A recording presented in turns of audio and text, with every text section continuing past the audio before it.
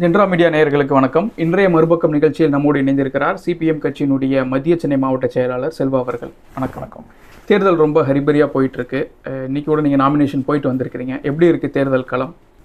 ரொம்ப சிறப்பாக இருக்கிறது தமிழ்நாட்டில் திராவிட முன்னேற்றக் கழகம் கட்சி தலைமையிலாக இருக்கக்கூடிய கூட்டணி கட்சிகளுக்கு தமிழ்நாட்டு மக்கள் வந்து ஒரு மிகப்பெரிய உற்சாக வரவேற்பு அளித்து கொண்டிருக்கின்றார்கள். சென்னை மாநகரத்தில் அந்த உற்சாகத்தை நாம் முழுமையாக பார்க்க முடிகிறது. இன்னும் சொல்ல போனால் எதிர்க்க யார் நிற்கிறான் என்று கூட தெரியாத ஒரு சூழல் தான் இருக்கின்றது. இந்த அணி வெற்றி பெற வேண்டும் இந்தியாவை காப்பாற்றுவதற்கு இந்தியா கூட்டணி வெற்றி பெற வேண்டும் என்ற உணர்வு வந்து என்னென்னா மக்கள் மத்தியில் இருக்குது. குறிப்பாக வந்து கேடஸ் மத்தியில் ஒரு பயங்கர உற்சாகம் இருக்குது. ஸோ அந்த உற்சாகம் ஒவ்வொரு விஷயத்திலும் வெளிப்படக்கூடியதை நம்ம பார்க்க முடிகிறது. அடுத்தடுத்து மக்களை சந்தித்து பிரச்சாரத்தை நோக்கி போக இருக்கின்றோம். இன்னும் அதோடைய உற்சாகம் உத்வேகம் அதிகமாக தான் உறுதியாக நம்புகிறேன் கிட்டத்தட்ட எல்லா தலைவர்களுமே தேர்தல் களத்துக்கு வந்திருக்காங்க பிரச்சாரத்தில் ஈடுபட்டுக்கிட்டு இருக்காங்க.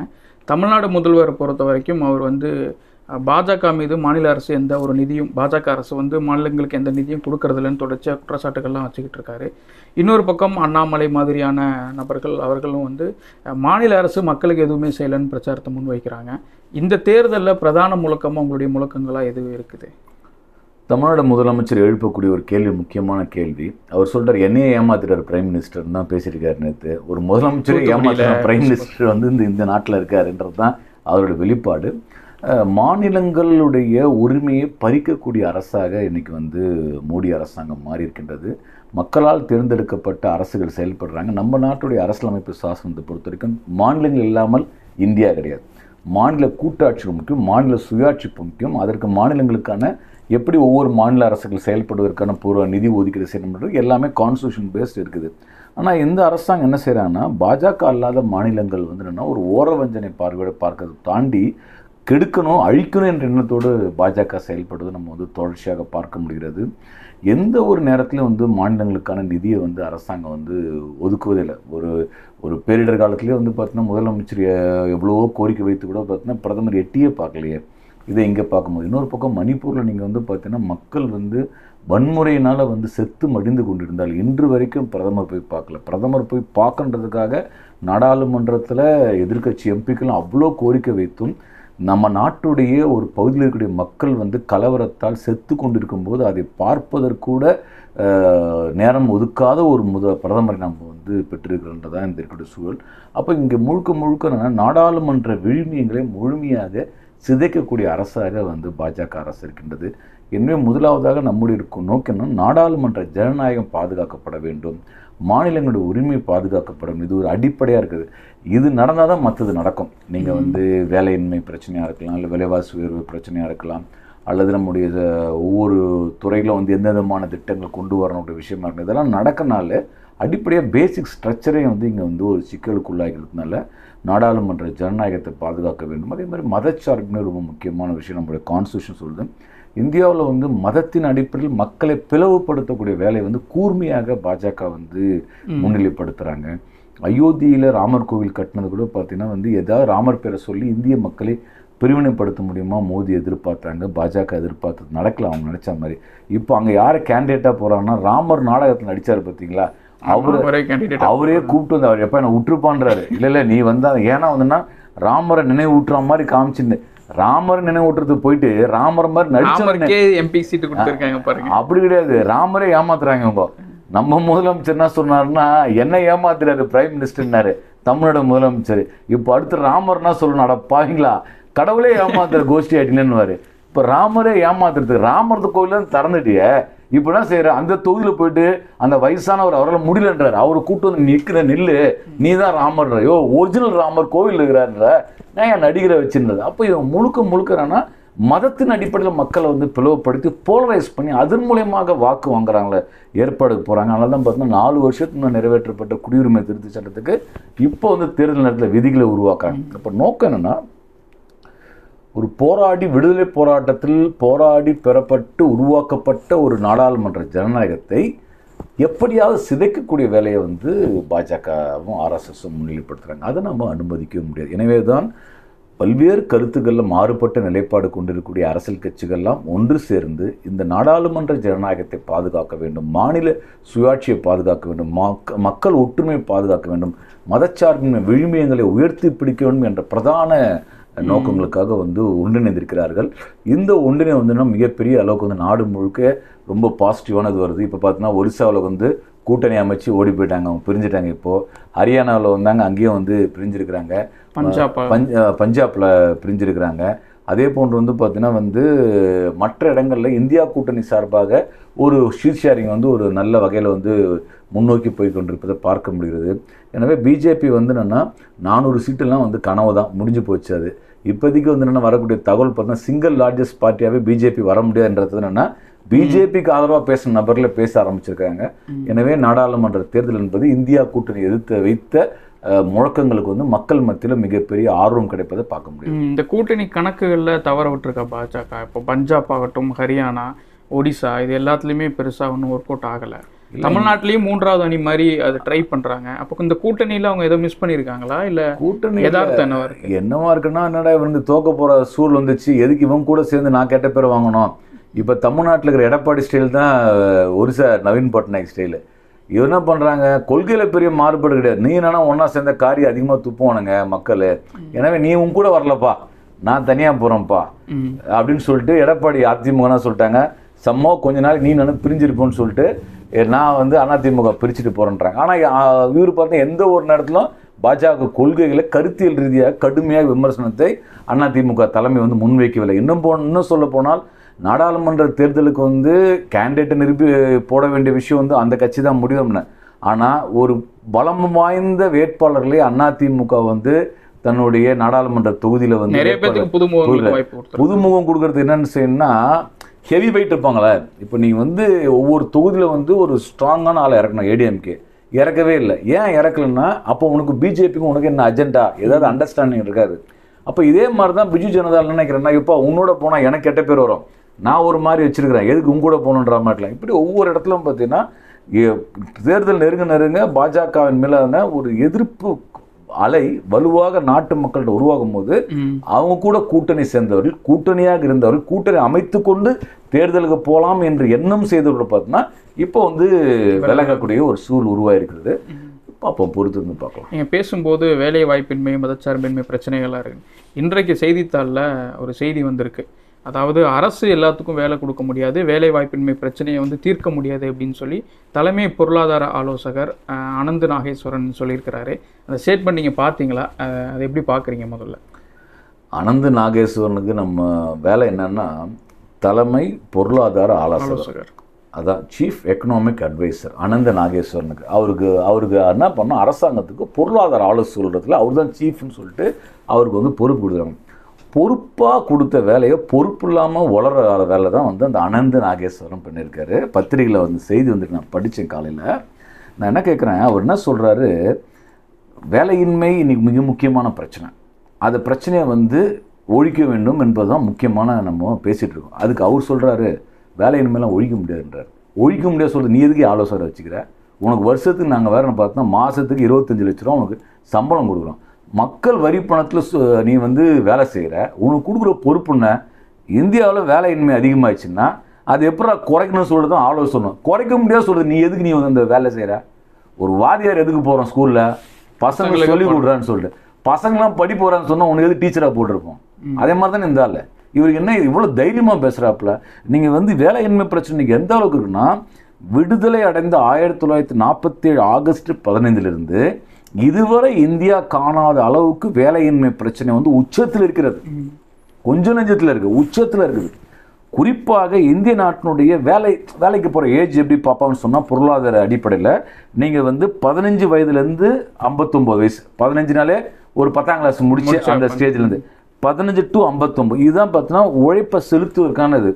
பதினஞ்சு கீழே இருக்கவங்க குழந்தைகள் அப்படின்றது அவங்களால உழை ஃபோர்ஸ் அறுபது வயசுக்கு மேலே பெரியவங்க. இப்படி. அவங்களாலே உழைக்க முடியாது. நிறைய உழைப்பு அப்போனா இதுதான் ஒர்க் ஃபோர்ஸ் இந்த ஒர்க் ஃபோர்ஸ் பார்த்தீங்கன்னா இந்தியாவோட மக்கள் தொகையில் வந்து பார்த்தீங்கன்னா அறுபத்தி நாலு சதவீதம். இந்த அறுபத்தி நாலு சதவீதத்தில் ஆவரேஜ் எவ்வளோ பார்த்தீங்கன்னா வந்து twenty eight point four percentage அப்புறம்னா இருபத்தெட்டு வயது அவ்வளோ யங்ஸ்டர்ஸ் வந்து வைப்ரண்ட்டு ஒர்க் ஃபோர்ஸில் வந்து வைப்ரண்ட்டாக இருக்கக்கூடிய வளம் வந்து இந்தியாவில் இருக்குது அந்த வளத்தை வந்து பயன்படுத்துக்கு வக்கில்லாத ஒரு அரசாங்கமாக பாஜக அரசாங்கம் இருக்குது அதுக்கு வந்து வக்காலத்து வாங்கக்கூடியவராக இந்த வந்து தலைமை பொருளாதார ஆலோசகர் இருக்கார் அவர் எங்கே அடுத்து போய் சொல்றாருன்னா நம்ம சோ செத்து போன இருக்காரு அவர் ஒரு சினிமா எடுத்தார். அந்த முகமது உதாரணத்தை அவர் உள்ள சொல்லியிருக்காரு. முகமது பின் துக்ளக்ன்ற ஒரு படம் வந்தது. அதை சோன்ற ஒரு படம் எடுத்தாரு. அந்த படத்துல வந்து என்ன சொல்லுவானா அந்த ராஜா வந்து நான் வேலையின்மை பிரச்சனை பேசிட்டே இருப்பேன் ஆனா வேலை கொடுக்க மாட்டேன். ம். அதை வந்து உதாரணம். இவர் உதாரணம் சொல்லியிருக்கிறாரு. உனக்கு எவ்வளவு அகங்காரம் கொழுப்பு உனக்கு உனக்கு நான் கேட்கறேன் நீ ஒரு கவர்மெண்ட் ஆபீசர் நீ மக்கள் வரி பணத்தை சோர்ந்துருக்க நீ வந்து நீ வந்து முகமது பின் துக்ல கூட பேசுற மாதிரி டயலாக் பேசுற மாதிரி பேசுவேன் என்னால வேலை கொடுக்க மாட்டேன்னு சொன்னா இந்த ஆள் மேலாம் வந்து சட்ட நடவடிக்கை எடுக்கணும். இது வந்து அயோக்கியத்தனத்தோட உச்சகட்டம் அது. வேலை கொடுக்க மாட்டேன்னு சொல்றது மட்டும் இல்லாமல் முகமது பின் துக்ளக் இருக்கிற மாதிரி நான் இருப்பேன்னு சொல்றது வந்து நான் வந்து இது எப்படி ஏற்றுக்கொள்ள முடியும்? இது கடுமையான கண்டனத்துக்குரியது. இதை வந்து நம்ம எந்த வகையிலும் ஏற்றுக்கொள்ள முடியாது. அப்போ நீ உன்னோட வேலை என்னன்னு கார்பரேட்டுக்காக நீ வந்து வேலை செஞ்சுட்டு இருப்பியா? அப்போ இதில் அர்த்தம் என்ன தெரியுமா உங்களுக்கு? இ- நீங்க வேலை ஒரு ஒரு உறுதியான வேலை கிடைக்கலாம். என்ன மாதிரி ஆகும்? ஒரு தகவல் அரசாங்கமே சொல்றாங்க centre for monitoring Indian economy CMIE CMIE என்ன சொல்றாங்கன்னா ரெண்டாயிரத்தி பதினாறு பதினேழில் வேலை செய்தவர் பார்த்தீங்கன்னா நாற்பத்தொன்று புள்ளி மூணு கோடி. அதை ரெண்டாயிரத்தி இருபத்தி ரெண்டு இருபத்தி மூணு பார்த்தீங்கன்னா நாற்பது புள்ளி ஆறு. அதை நாற்பத்தொன்று புள்ளி மூணு நாற்பது புள்ளி ஆறுனா நிரந்தரமாக அதாவது ஒரு பணியில வந்து ஒரு உறுதியான வேலை செக்யூர்டான ஜாப் செக்யூர்டு ஜாப்ல இருந்தவங்களோட சதவீதம் பார்த்தீங்கன்னா கடந்த ஐந்து ஆண்டுகள்ல வந்து என்னன்னா எவ்வளவு குறைஞ்சதுன்னா எழுபது புள்ளி மூணு சதவீதம் குறைஞ்சிருக்காங்க அப்ப என்ன அர்த்தம்? செக்யூர்டு ஜாப்ல இருக்கவங்களாம் நீ ஓரம் கட்டு விட்டுருக்க. அப்ப நீ என்ன பண்ணுவ? யூஜி முடிச்சுன்னு போயிட்டுனா அர்பன் டிவில போயிட்டு சாய் கிங்ஸ்ல போய் டிவி கொடுக்குற வேலை சொல்ற டிவி விற்கிறது வேலை கம்மி இல்ல அதுக்கு எது பிஇ படிச்சுட்டு அவன் டிவி விற்கணும் ஓலால போயிட்டு ஸ்விக்கில போயிட்டு சோ- சோறு கொடுக்குறவன் யாரும் பண்றான். போஸ்ராஜ் படிச்சு பொண்ணு ஆனும் போயிட்டு அதை கொடுத்துட்டு இருக்கோம் அப்ப நம்ம இந்தியாவுடைய இளம் உழைப்பு வளம்னா வைப்ரண்டான இருக்கக்கூடிய அந்த ஒர்க் ஃபோர்ஸ்னா நீ வந்து அடிமாற்று கூலிக்காக நீ வந்து வாங்குற. அப்போ நான் வந்து படிச்சு என்னுடைய படிப்புக்கு வந்து என்னன்னா ஒரு நாளைக்கு வந்து நான் வந்து ஒரு ஐயாயிரம் ரூபாய் சம்பாதிக்க முடியும்தா என்னை வந்து நூறு ரூபாய்க்கு வேலைக்கு எடுத்துமே விற்கிற நீ. எனக்கு எந்த பணி பாதுகாப்பும் கிடையாது. அப்போ இதான விஷயம். இப்போ இந்த அளவுக்கு வந்து வேலையின்மை பிரச்சனை இருக்கு. இதை தீர்க்கிறது தான் தேவை. அதை தீர்க்க சொன்னான்னா இந்த ஆள் வந்து சொல்றான் சீஃப் எக்கனாமிக் அட்வைசர் தீர்க்கலாம் முடியாது அரசு கொடுக்க முடியாதுன்னு அரசு வேலை கொடுக்க முடியாதுமா இன்னொரு அது அது- அதுல இன்னொரு பார்ட்டு தான். இப்போ அவர் வந்து என்னன்னா அரசு எல்லாத்துக்கும் வேலை கொடுக்க முடியாது. அது அரசால பண்ண முடியாது தனியா அப்படின்னு இருக்காரு.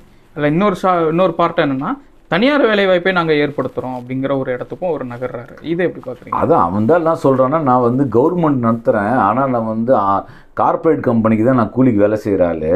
இந்த சில பேர் இருப்பாங்க தெரியுமா? அந்த டாக்டர்லாம் கவர்மெண்ட் ஹாஸ்பிட்டலில் டாக்டராக இருப்பார். கவர்மெண்ட் ஹாஸ்பிட்டல் டாக்டரே பார்க்காம ப்ரைவேட்டில் கிளினிக்கரை பார்க்குறான்னு சொல்லிட்டு மக்கள் தகராறு பண்ணுவோம் தெரியுமா? ஏதோ ஒரு அப்பாவே ஒரு அரசு மருத்துவமனையில் டாக்டர் இல்லைன்னா நம்ம தகராறு பண்ணா கண்ணுக்கு ஏற்ற மாதிரி தெரிஞ்சு போயிடுது. இவனுங்க என்னன்னா சீஃப் எக்கனாமிக் அட்வைசராக இருந்துட்டு கவர்மெண்ட்டுக்கு வேலை பாடுறான்னு சொன்னால் கார்ப்பரேட்டுக்கு நான் வந்து என்ன செய்கிறேன் இந்தியாவில் வந்து நல்ல வைப்ரண்ட்டாக இருக்கிறாங்க யங்ஸ்டர்ஸு இளம் உழைப்பு இருக்குது இந்த உழைப்பு வந்து நான் வந்து கவர்மெண்ட் பணிப்பாது கொடுக்க மாட்டேன். கார்ப்பரேட்டில் வாங்க. இந்த உழைப்பை வந்து நீங்கள் வந்து நல்ல அனுபவம் வேண்டாம் சொல்லிட்டு அத்துக்கூலி பண்ணுறான்னு சொல்லுவார். அதனால தான் பார்த்தீங்கன்னா இன்றைக்கி வந்து என்னென்னா ஐடி இண்டஸ்ட்ரியிலே பாருங்கள் இன்றைக்கி ஐடியில் வாங்கக்கூடிய ஒரு பொண்ணோ பையனோ வாங்கக்கூடிய சம்பளம் வந்து என்னென்னா ஒரு அம்- 40000 ரூபாய் சம்பளம் வாங்குதுன்னா அதே சம்பளத்தில் அதே அமெரிக்கா போய் பார்த்தோன்னு வச்சுக்கங்களேன் அவன் ரெண்டு லட்ச ரூபா வாங்குவான். யூரோப்பில் வளர்ந்த நாடுகளில் ரெண்டு லட்ச ரூபாய்க்கு வாங்கக்கூடிய சம்பளத்தை நாற்பதாயிரம் முப்பதாயிரம் நம்ம நாட்டில் உழைப்ப விற்கிறானுங்க. அப்போ எந்த அளவுக்கு இங்கே துரோகம் பண்ணுறாங்க இந்திய இளைஞர்களுக்கு இந்திய படித்த மாணவர்களுக்கு? கார்ப்பரேட் நிறுவனம் என்னன்னா நேரங்கள் வேற நேரத்தை எக்ஸ்டெண்ட் பண்றாங்க. அதனால பன்னெண்டு மணி நேரம் பதினாலு மணி நேரம் விவாதம் வந்து பார்த்தீங்கன்னா இப்போ ஆப்பிள் ஐஃபோன் வந்து அவன் சிஓ அவன் வந்தோடனே பெங்களூர்ல நாங்கள் ஒரு இன்ஸ்டியூட் உருவாக்க போகிறோம் கம்பெனி வந்து பிளான்ட் உருவாக்க போகிறோம்னா உடனே அங்கே பதினாலு மணி நேரம் பதினாலு மணி கொண்டு வந்து சட்டம் கொண்டு வராங்க. அப்போ இவங்க மோடி மோடி வகையறா ஆர்எஸ்எஸ் பிஜேபி எல்லாம் என்னன்னா இந்திய நாட்டு இளைஞர்களுக்கு பணி பாதுகாப்பு பொருளாதார பாதுகாப்பு உத்து உருவாக்குறது பதிலாக இந்திய நாட்டினுடைய மனித வளத்தை பன்னாட்டு கார்ப்பரேட் நிறுவ நிறுவனங்களுக்கு அள்ளி அள்ளி கொடுக்குறாங்க காவு கொடுக்குறாங்க. நம்ம ரத்தத்தை நம்மளோட சூடான இளைஞர் ரத்தத்தை அந்த ரத்தத்தை கார்ப்பரேட் நிறுவனங்களுக்கு சேவை செய்வதற்காக மடைமாத்துகிறார்கள். அதான் அதோட வெளிப்பாடு. ம், இதோட இன்னொரு இல்லை இன்னொரு ஹிட்டனாக ஒளிஞ்சிருக்க விஷயம் என்னன்னா அரசு வேலை கொடுக்க முடியாது அப்படின்னா இருக்கிற வேலைகள் இனி நீட்டிப்பு செய்யப்படாதுங்கிறது ஒன்று புதிய வேலை வாய்ப்புகள் எதுவும் உருவாக்கப்படாது அப்படிங்கிறது. அப்போ இது எல்லாமே வந்து கவர்மெண்ட்டுடைய எல்லா நிறுவனங்களோடு பொருந்தி போகுது. நான் சொல்றேன் பாருங்களேன் இப்போ சென்னையில் இப்போ ஐசிஎஃப் கோச் இருக்குது. கோச் ஃபேக்டரி இருக்குது. நம்ம ரயில் இந்தியாவுக்கு முழுக்க ரயில் தயாரிக்கிறதுக்கான ஒரு கோச் ஃபேக்டரி இது ஒரு கோச் ஃபேக்டரி அந்த கோச் ஃபேக்டரியில் பார்த்தோன்னா எம்ப்ளாய்மெண்ட் பார்த்தோன்னா அறுபது அறுபத்தஞ்சு சதவீதம் ஒப்பந்த பணியாளர் தான். எல்லாமே கான்ட்ராக்ட் கான்ட்ராக்ட் இங்க ஹார்பர் இருக்குது. ஹார்பர்ல வந்து பார்த்தீங்கன்னா அதே மாதிரி வந்து பார்த்தீங்கன்னா நிரந்தர பணியாரெல்லாம் முழுக்க ஒழிச்சிட்டானுங்க. இப்போ என்ன அர்த்தம்? நீ வந்து ஒரு ஒரு ஐசிஎஃப் ஒரு கோச் ஃபேக்ட்ரி இங்கே துறைமுகம் ரெண்டு தொழிற்சாலை வச்சு நான் சொல்கிறேன் இந்த தொழிற்சாலை வில்லிவாக்கம் பகுதியில் ஐசிஎஃப் கோச் ஃபேக்ட்ரிக்குன்னா அந்த கோச் ஃபேக்ட்ரி ஒட்டி இருக்கக்கூடிய குடியிருப்புகளை போய் நீங்கள் வந்து ஒரு சர்வே எடுத்து பார்த்தீங்கன்னா ஒரு காலத்தில் அந்த அவங்க தாத்தா வந்து என்ன கிராமத்தில் இருந்திருப்பார் கூலி வேலையில் இருந்திருப்பார். அப்புறம் வந்து தாத்தா தாத்தா அப்புறம் கொஞ்சம் படிக்க வச்சிருப்பார். பத்தாம் கிளாஸ் பன்னெண்டு முடிச்சுட்டு வந்திருப்பாங்க.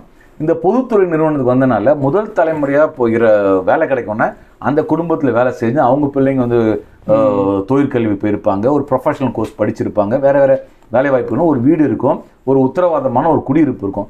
இப்போ அந்த இடத்துல என்ன ஆகுது? தாத்தா படித்து அப்பா கவர்மெண்ட்டுக்கு வந்துட்டார். ஆனால் ஐசிஎஃப் ஃபேக்ட்ரிலேருந்து ரிட்டையர் ஆகக்கூடிய பையன் வந்து அவர் வந்து பிஇ மெக்கானிக்கல் இன்ஜினியர் படிக்க வச்சாலும் அந்த பையன் என்ன பண்ணுறான்னா பதினெட்டாயிரம் தான் வேலை செய்ய போகிற இருக்கு. அப்போ என்ன அர்த்தம்? ஒரு தலைமுறைக்கு அடுத்த தலைமுறை அந்த பொதுத்துறை நிறுவனம் மூலயமாக கிடைக்க வேண்டிய வாய் வாய்ப்பு முழுக்க முழுக்க மடைமாற்றி ஒப்பந்த பணியாளராக ஆக்கக்கூடிய வேலை இருக்குது.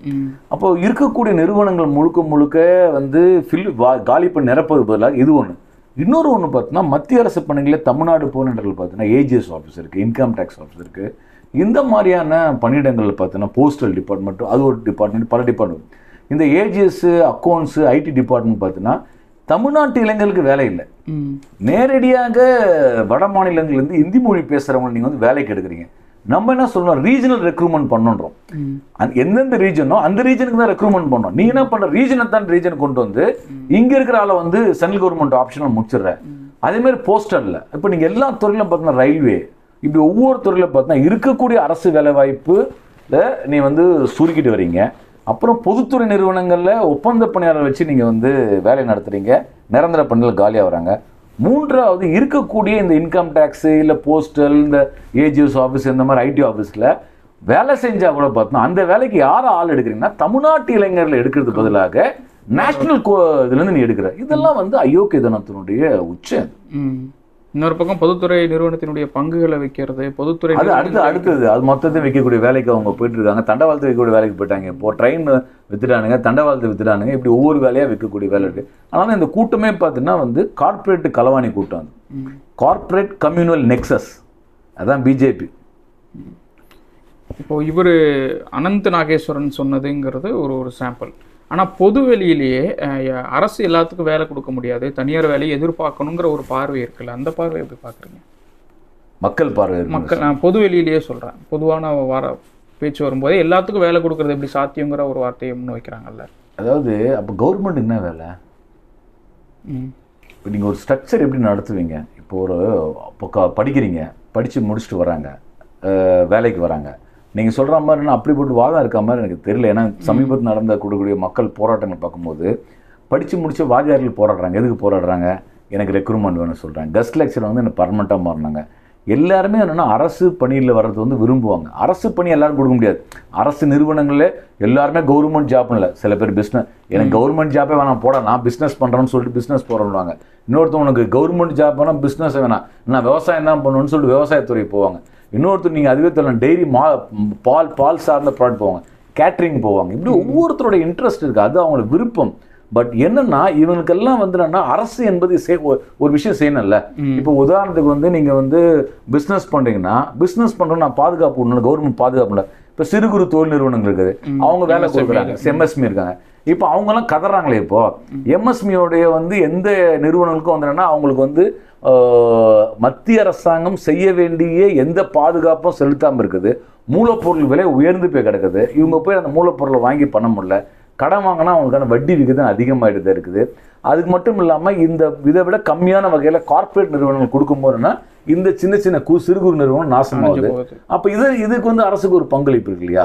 அடுத்து நீங்கள் வந்து நடைபாதை வியாபாரம் நடத்துறீங்க. ரோட்டோர கடை வச்சு பண்ணுறீங்க அந்த ரோட்டோர கடை வச்சு நடக்கக்கூடிய வியாபாரிகள் வந்து அவங்க நம்ம இந்தியாவை பொறுத்தவரைனா சிறு குறு தொழில்கள் சிறு குறு விவசாயி இதுதான் அதிகமாக இருக்குது. இந்தியா வந்து யூரோப் மாதிரி பல பேர் சில பேர் எல்லாருமே ஒரு மிடில் இல்லை அபோவ் மிடில் பிஸ்னஸ் கிடையாது. இங்கே சிறு குறு தொழில் தான் ஒரு தெருவில் போனால் பத்து கையேந்தி போகணும். எந்த நீங்கள் மார்க்கெட் போனால் சின்ன சின்ன கடைகள் மூலியமாக தான் பிஸ்னஸே நடக்கும். அப்போ இந்த சிறு குறு தொழில் செய்யக்கூடியவர்களே சிறு குறு விவசாயம் செய்யக்கூடியவர்களை பாதுகாக்க வேண்டியது அரசாங்கத்தினுடைய பொறுப்பு. அந்த பொறுப்பை செய்யலல்ல. இப்போ நீங்கள் அதையெல்லாம் என்ன பண்ணுறீங்க உதாரணத்துக்கு ஒரு ரிலையன்ஸ் கம்பெனி வந்துச்சுங்களேன் ரிலையன்ஸ் வந்து என்னன்னா அவன் க பருப்பும் விற்கிறான் உப்பும் விற்கிறான் சொக்கா விற்கிறான் சுடிதார் விற்கிறான் மளிகை சாமான் விற்கிறான் ஃபேன்சி டைல்ஸ் விற்கிறான் எல்லா பொருளும் அவனும் வித்துடுறான். அப்போ தெருவில் கடன் வச்சுக்கிறேன் எப்படி வாழ வேண்டியிருக்குது? என்னென்ன இருக்கு பரோட்டா வந்து ரெடிமேட் பரோட்டா வரைக்கும் அவனே கொடுத்துட்றான். நீயே சுட்டு தின்றான்னு சொல்றான். உள்ள அப்புறம் பார்த்தா ஜூஸ் உள்ளே வித்துறானுங்க பெரிய பெரிய நிறுவனங்கிட்ட வந்து மாறிடுச்சு. அப்போ ஒரு ஆயிரம் ரெண்டாயிரம் பேர் தொழில் சேர்ந்து வாழக்கூடிய வாய்ப்பை ஒற்றை முதலாளிட்ட திமிட்டு வந்து பிஜேபி கொடுக்குது. இப்போ இது வந்து நம்ம கொஸ்டின் பண்றோம். நீ அரசு வேலை வாய்ப்பு ஒரு பக்கம் தனியார் துறையில் இருக்கிற வேலை வாய்ப்பில் வந்து அவங்களுக்கான பணி பாதுகாப்பு அவங்க ஓய்வு பெற்ற அதுக்கான பாதுகாப்பு விஷயம் சுய தொழில் செய்வர்களுடைய பாதுகாப்பு இருக்கிறது. இது இல்லாம வந்து ஒட்டுமொத்தமாக பொருளாதார நடவடிக்கை அரசு பாதுகாப்பு. இது ஒன்னோட ஒன்று ச சம்மந்தப்பட்டு ம். இது எந்த எந்த இது வந்து தனியா தனியா இருக்காது. நீங்க அரசு பொதுத்துறை நிறுவனங்கள் வளமா செஞ்சாதான் அதுக்கு அடுத்த நிறுவனம் வேலை செய்ய முடியும். இது ஒழுங்கா இருந்தால் தான் ஸ்மால் ஸ்கேல் பண்ண முடியும். அப்பதான் பிசினஸ் போட முடியும். நீங்க இந்த செயினா தான் இருக்கும். ஒரு செயினை அறுத்தாலே எல்லாம் பாதிக்கப்படும். இந்த தேர்தல் என்பது கிட்டத்தட்ட நெருங்கிடுச்சு தமிழ்நாட்டை பொறுத்த வரைக்கும் இன்னும் ஒரு இருபது நாள் பக்கம் தான் இருக்குது மக்களுக்கு நீங்கள் சொல்லணும் அப்படின்னு என்ன சொல்ல தமிழ்நாட்டு மக்கள் வந்து உறுதியாக வந்து பாஜக கூட்டணியை முறியடிக்க வேண்டும். பாஜகவை எதிர்ப்பதாக சொல்லி அதிமுக வந்து தேர்தல் களத்தில் நிற்கிறது. அது வந்து போங்கு வச்சு தான் அவங்க நிற்கிறாங்க அது ஏமாத்துகிறார்கள் மக்களை. அதிமுக தோற்கடிக்கப்பட வேண்டும். அதிமுக பாஜக மட்டுமல்ல இன்றைக்கு இந்திய நாட்டினுடைய வளங்களை எல்லாம் சூறையாடி அதை வந்து என்னன்னா நம்முடைய வாழ்வாதாரத்தை சீரழித்திருக்கக்கூடிய பாஜக வெற்றி பெறுவதற்காக யாரெல்லாம் சதிவேல் ஈடுபட்டாலும் சில தனிநபர்கள் சில குழுக்கள் சில பேர் இறை நம்பிக்கையின் பேரெல்லாம் வந்து பேசுவாங்க. அப்படி யார் பேசினாலும் நீங்கள் வந்து நம்பக்கூடாது. முழுமையாக வந்து அந்த கருத்துக்களை எல்லாம் நிராகரித்து திராவிட முன்னேற்ற கழகம் தலைமையிலான மதச்சார்பற்ற கூட்டணி கட்சியினுடைய வேட்பாளருக்கு வாக்களிக்க வேண்டும். இந்த வாக்கு என்பது நீங்கள் இந்த முறை வாக்களிக்கூடிய என்பது இந்திய ஜனநாயகத்தை பாதுகாப்பதற்கான ஒரு மிக முக்கியமான புள்ளியாக வந்து நாட்டு மக்கள் வந்து கருதி திராவிட முன்னேற்ற கழக தலைமையிலான வந்து கூட்டணி கட்சிகளுக்கு வாக்களிக்க வேண்டும். என்னோட பொறுத்த வரைக்கும் நான் என்ன நினைக்கிறேன்னு சொன்னால் தமிழ்நாட்டில் ஒட்டு தமிழ்நாடு புதுச்சேரி மொத்தம் இருக்கக்கூடிய நாற்பது. இடங்களிலும் இந்த கூட்டணி தான் வெற்றி பெறும் என்பது உறுதியாக தெரிகிறது. அந்த உறுதியை இன்னும் உறுதி செய்ய வேண்டியதான் மக்கள் முன்னாடி இருக்கக்கூடிய கடமையை நான் பார்க்குறேன் மிக்க நன்றி உங்களுடைய நேரத்திற்கு.